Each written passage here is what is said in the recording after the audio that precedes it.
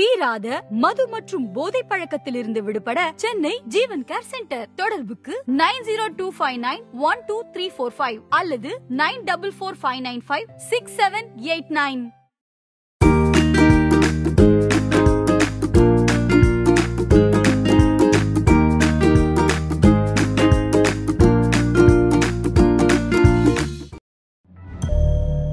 நான் சிறுவனா இருந்தப்ப டயட் பத்திலாம் யோசிச்சதே இல்லை. அடுத்த வேலைக்கு சாப்பாடு கிடைக்குமா அப்படின்னு தான் அதிகமா யோசிச்சிருக்கேன். இப்படி ஒரு ஸ்டேட்மெண்ட்ட ஒரு கிரிக்கெட் பிளேயர் சொன்னா எப்படி இருக்கும்?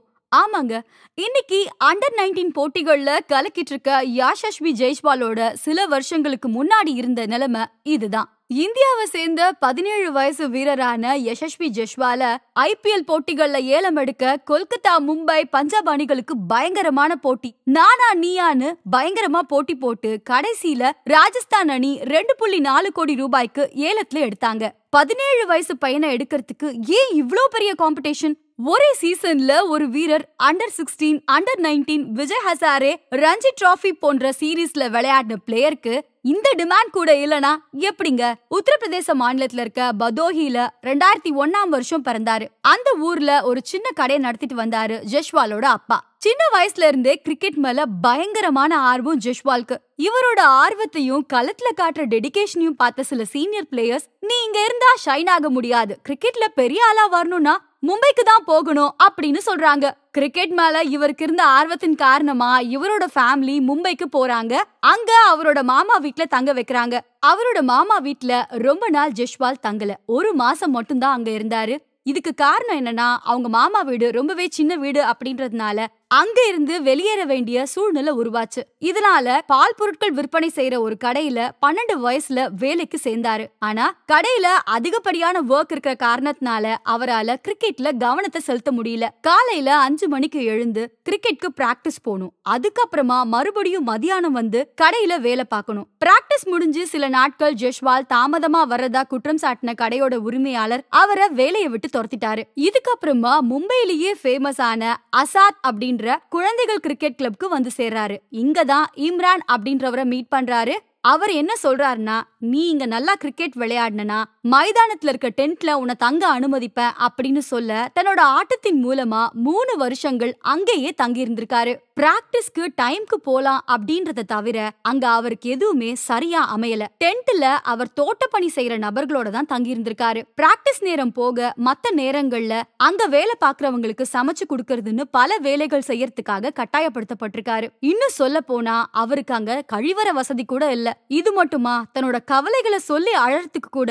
ஆள் இல்லாம இருந்திருக்காரு ஜெஷ்வால். கையில காசு இருந்தா மகனுக்கு கொஞ்சம் செலவுக்கு அனுப்புவாரு அவரோட அப்பா. ஆனா அது ஜெஷ்வாலுக்கு போதுமானதா இல்ல. இதனால அசாத் மைதானத்துல இரவு நேரங்கள்ல பானிபூரிய விற்க ஆரம்பிச்சாரு.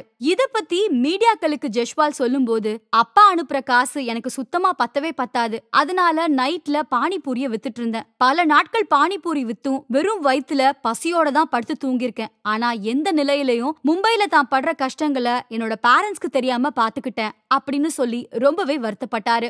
ஜெஷ்வாலோட கோச் தான் ஜுவாலா சிங். அவரு ஜெஷ்வால பத்தி சொல்லும்போது அவனை சின்ன வயசுல பாக்கும்போது உன் வீடு எங்கன்னு கேட்டேன். அப்ப அவன் சொன்ன பதில் இப்பவும் என் நினைவுல இருக்கு. எங்க இடம் இருந்தாலும் அங்க தங்கிக்குவேன். அதுவே என்னோட வீடா இருக்கும் அப்படின்னு தான் சொல்லுவான். அவனோட பதில் எனக்கு ரொம்பவே அதிர்ச்சியை தந்தது. அன்னையில இருந்து இன்னைக்கு வரைக்கும் ஜெஷ்வாலுக்கு பெரும் ஆதரவா இருந்துட்டு வராரு ஜுவாலா சிங்.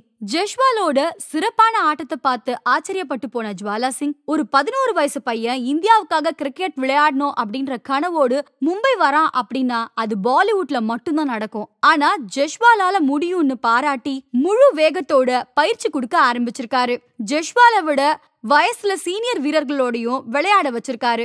ஜெஷ்வாலோட கோச்சான ஜுவாலா சிங்கும் முன்னாள் இந்திய அணி வீரர் வாசிம் ஜாஃபரும் நல்ல ஃப்ரெண்ட்ஸ் இவரோட ஆட்டத்தை பத்தி வாசிம் ஜாஃபர் கிட்ட இவர் சொல்ல போக அப்போ ஜெஷ்வால மீட் பண்ணியே ஆகணும்னு ஜாஃபர் அவரை மீட் பண்றாரு. கிரிக்கெட் மட்டும்தான் வேணும் அப்படின்னு நீ முடிவெடுத்தா பல விஷயங்களை நீ தியாகம் செய்ய வேண்டி இருக்கும் அப்படின்னு ஜாஃபர் சொல்ல அதுக்கு கிரிக்கெட்ல சாதிக்க நான் எந்த எல்லைக்கும் செல்ல தயாரா இருக்கேன் அப்படின்னு ஜெஷ்வால் சொல்லிருக்காரு ஜெஷ்வாலோட இந்த உத்வேகத்தை பார்த்த ஜாஃபர் இந்தியன் ஆயில் டீமுக்காக விளையாட அழைச்சிட்டு போறாரு. அங்க போன ஜெஷ்வால் ஃபோர் சிக்ஸஸ்னு பறக்க விட்டு ரன்களை மலை மாதிரி குவிக்க அந்த சீரீஸ்ல மேன் ஆஃப் த சீரீஸ் பட்டத்தை வாங்கினாரு. ஜெஷ்வால் கிட்ட கிரிக்கெட் கிட்னு சொல்ற மாதிரி எதுவுமே கிடையாது.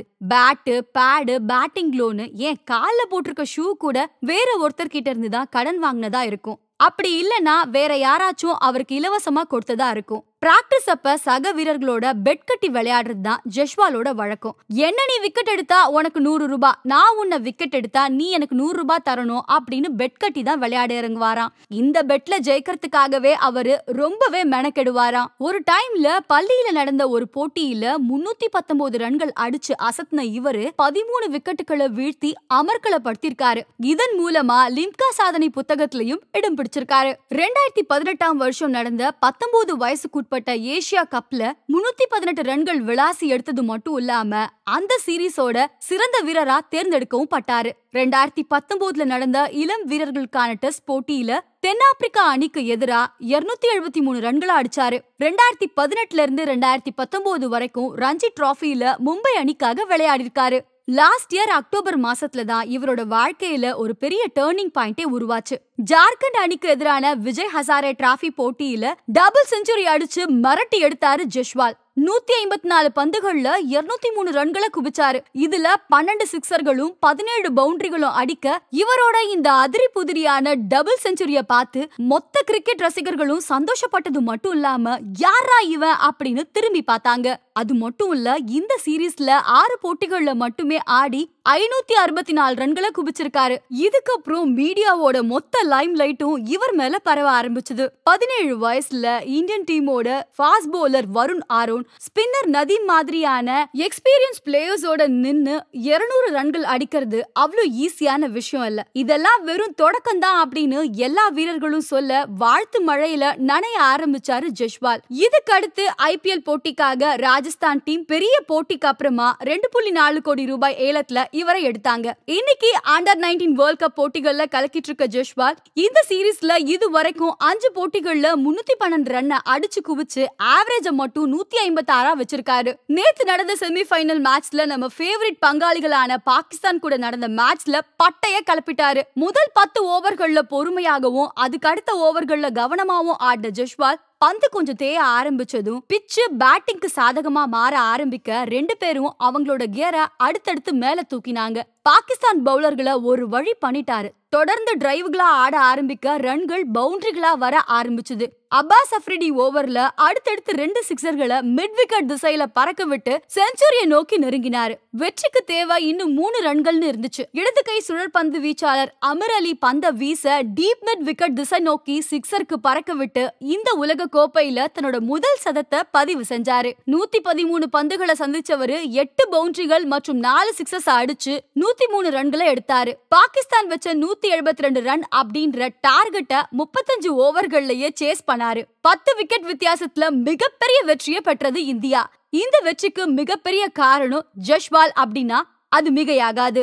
பல கஷ்டங்களுக்கு இடையிலையும் கிரிக்கெட் தான் என்னோட உலகம் அப்படின்னு கிரிக்கெட் மேல இந்த அளவுக்கு பற்று வச்சிருந்தவரோட உழைப்பு வீணாகல அப்படின்னு தாங்க சொல்லணும். பானிபூரி வித்த கை இந்தியாவுக்கு கப்பு வாங்கி கொடுக்க போகுது. டென்ட்ல தூங்கி பானிபூரி வித்து பொட்டி கடையில வேலை பார்த்த ஜெஷ்வால் பல பேருக்கு இன்னைக்கு இன்ஸ்பிரேஷனா இருக்காரு. மூணாவது முறையா தொடர்ந்து ஃபைனலுக்கு போக போகுது இந்தியா.